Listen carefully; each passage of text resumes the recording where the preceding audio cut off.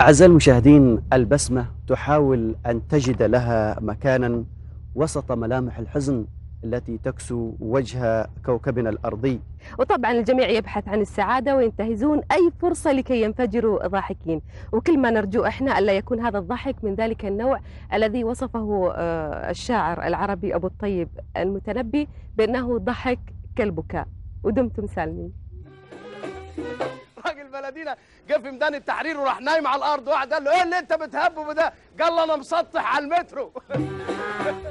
شفت اللي واقف على محطة المترو فايت أول قطر مش عايز يعدي. تاني قط خبريه ما بتعديش يا عمدة.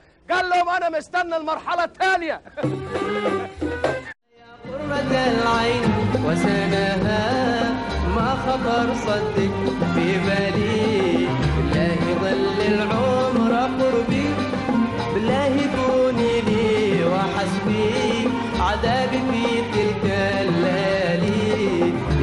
النفس